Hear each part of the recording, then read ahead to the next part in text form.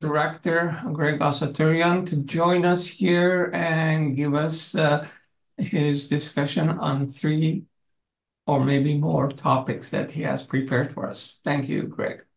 Thank you. Um, and I'm cognizant of the time, uh, and I respect your time. So we are going to go through these uh, two or three points with a rapid-fire, um, basically, way.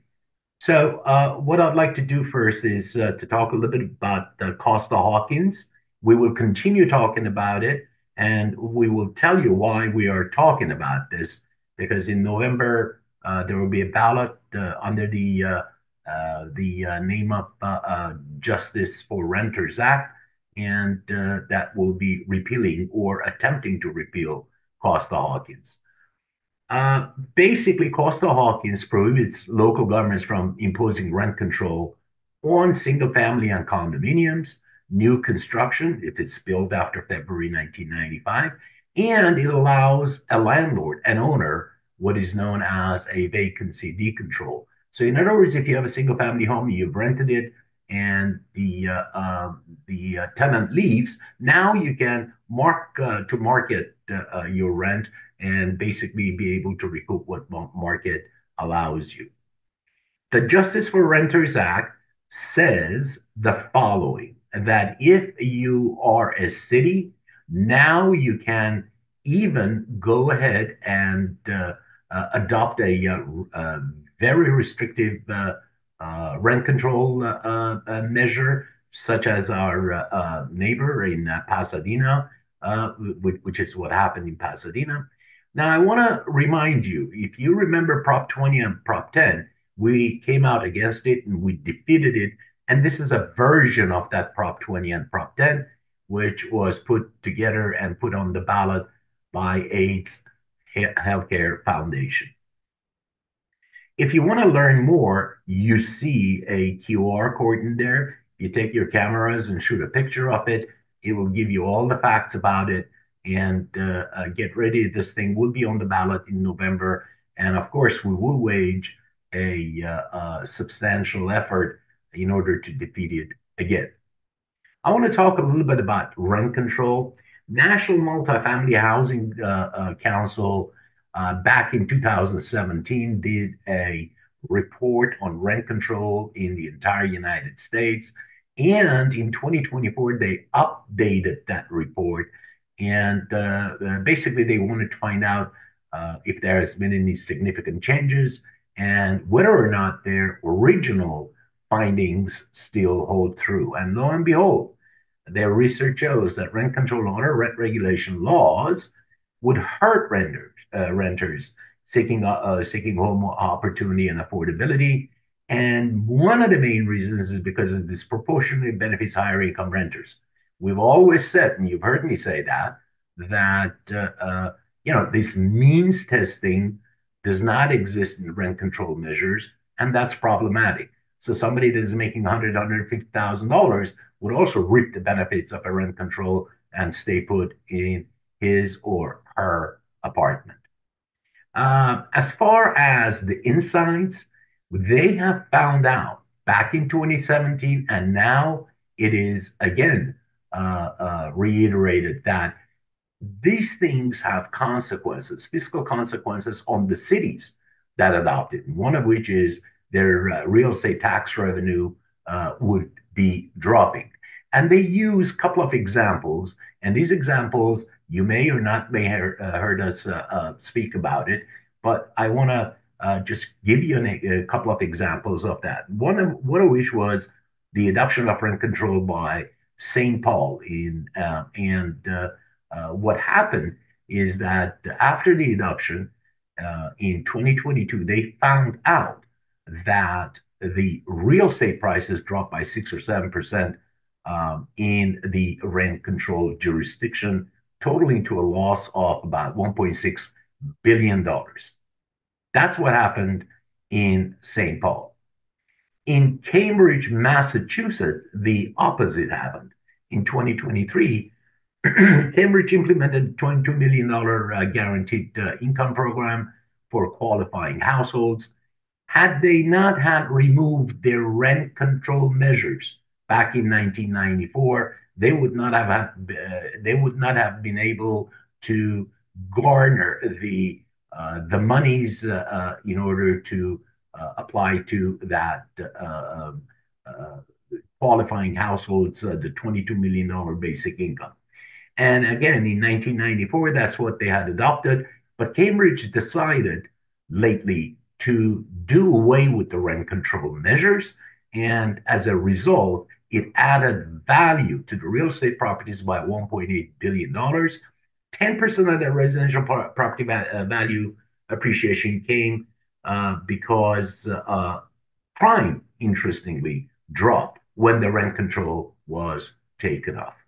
So I just wanted to give you these two examples. We use these two examples a lot, talking to our legislators and so forth, and we'll continue doing so. Next one that I want to talk to you about is you see, we say 200,000 plus uh, strong protecting homeownership in California. That's a reference to you as affiliates, as members of uh, California Association of Realtor, and by its extension, the Glendale Association of, of Realtors. About 3,000 3,000 uh, legislative bills are actively monitored by CAR and its 93 different associations. 100% of the bills that have been sponsored in 2023 by CAR have been passed. And that's a uh, uh, really record uh, uh even for CAR. 100% of the uh, uh, members that CAR contacted on red alerts, especially on Wahab, um, the Fremont senator, um, about rent control and the restrictions that they were putting on private property rights, we responded and we defeated those those restrictive measures. Five times as many people have um, have have participated in realtors in the red alerts in 2023. That's wonderful. That's good news. I know a lot of you respond to the red uh, red alerts continue doing so, especially for stuff that is not only on uh, uh, state level, but also on local level, which we'll talk a little bit about it uh, a little bit later on. You heard May Shalhoub talk about uh, the uh, uh, what is called this California Dream for All, and we were an instrumental instrumental part of this this this legislation passed uh, with the help of the uh, uh, the Toni Atkins, the pro tem Senate president, and so forth. And that has been um, continued on. You heard us talk about a couple of weeks ago, and we provided you information to to check with Cal FHA so you can accordingly advise your your clients and your first-time buyers. About three and a half million dollars were collected, and uh, this is all voluntary for uh, Realtor Action Fund. You heard your uh, President uh, Sachs uh, telling you and encouraging you to always give to Realtor Action Fund because it helps us find uh, onerous bills and, and ordinances and what have you. What I want to bring to your attention very quickly is that in about a couple of weeks, not a couple of weeks, I'm sorry, about a month, month and a half, City of Glendale will be discussing as a revenue enhancement measure instituting a transfer tax in City of Glendale, a la ULA, a la Santa Monica, and what have you. Now, uh, let me be the first to coin uh, the phrase for this thing. This is a point of sale mandate, and perhaps the harshest form that we can come across.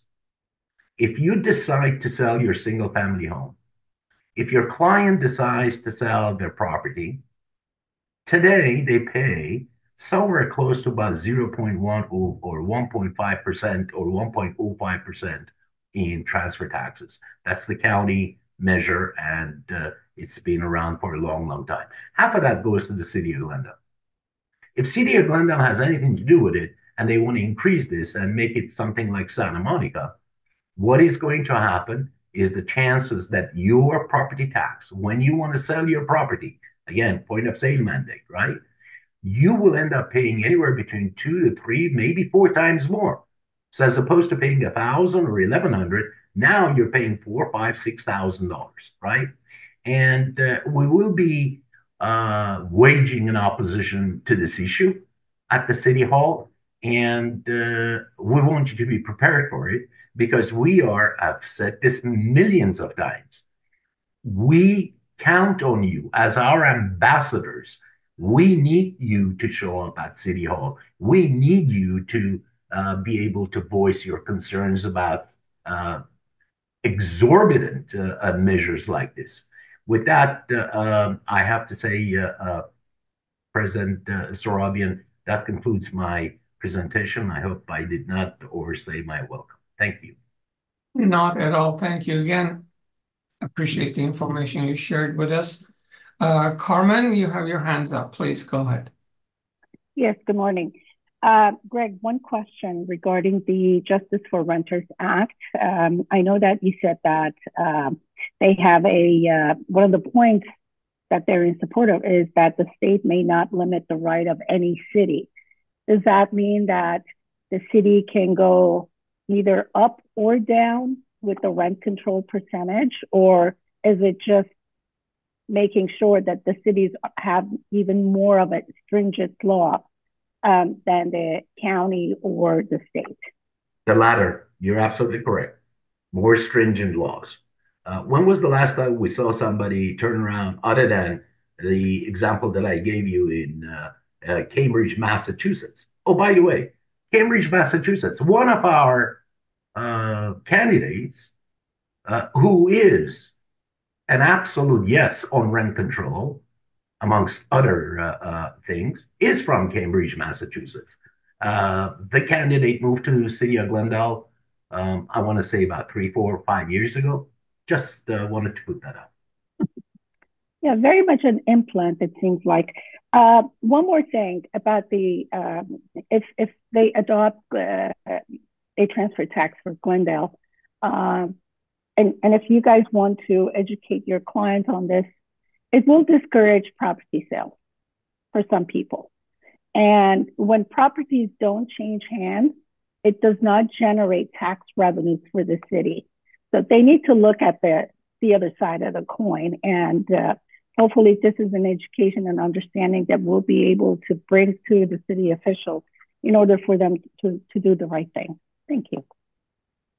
And uh, President Sorabian, if I may add to what uh, Carmen, thank you for for uh, bringing all of those up. Transfer tax, by the way, is one of the measures that you can quote unquote enhance revenue, right, in the city uh, lingo.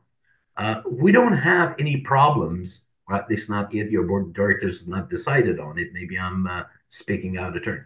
But there are other measures, tra- transient occupancy tax that affects hotel uh, hotel occupancy, um, your parcel taxes, which we've had in the past for GUSD and Glendale Community College, and we have gladly helped them and paid for it, right?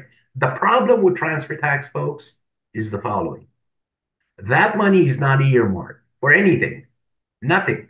It goes into the general fund, and all it takes to pass it is simple majority, not two thirds as it's required by a uh, parcel tax. With that, I appreciate.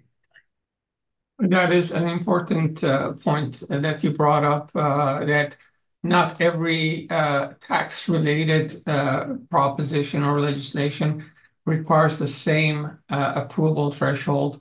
This is one of the dangerous ones that with 50 plus one might get passed. So we have to be really careful and uh, watch this closely and act. Thank you again. Appreciate it. So on that, on the tax, would it, would it work like ULA where it would be over a certain amount? It wouldn't be just like in, in, in LA where it's so much per thousand, regardless of the price. And I know in the Bay Area, like San San Francisco or San Jose, it's like 12 which is an exorbitant amount, especially when you consider the property prices. So I'm just curious, is this, would, would this be just like ULA where there would be a, a minimum threshold and then above that it would be extra? And so the report will come back. Thank you, Ira, for the question. Uh, the report will come back, um, I want to say about in about a month or so uh, from staff. But the way that it's arranged, or the examples that staff used in their first iteration of this uh, plan, was nothing less than Santa Monica, nothing less than the ULA. Keep in mind, the buck 05 per thousand that is being used right now as a, as, as, as a county measure for transfer tax, half of it goes to the city, the other half goes to uh, the county. If the city wants to uh, initiate or start a transfer tax based on the city's uh, uh requirements and based on the city's uh, prerogatives, then that buck 05 or that 1.05% would fully go to to the county. So the city has to make up not only for that half of that, but add something that is going to enhance in there. I mean, it's it's it's very interesting using the term enhancing uh, revenues, right? Uh, and it's always on the back of the uh, property owners, right? Uh, but having said that, uh, this is something that would be over and above that, and at least according, pardon me, to a discussion, the first discussion, Mayor Brotman was open to uh, exempt everything up until to, uh, up to the point of two million dollars. In other words, have uh, the old uh, dollar oh five applying per thousand, and then uh, change that transfer tax for stuff that is over two million dollars. Now, the problem with that is that you have 970 properties that changed hands in 2023 in City of Glendale. Not all of them were residential. It will affect business properties. It will affect small, uh, you know, uh, two units, four units, uh, uh, somebody that owns a small commercial that is renting out, and what have you. And uh, it's just uh, not very well thought through. And you saw what happened to Los Angeles. All of a sudden, the volume dropped and dropped dramatically, and that's what we do, that's that's a consequence that we don't want for the city of Glendale to inherit. Thank you, Greg. Um, any other questions from Greg?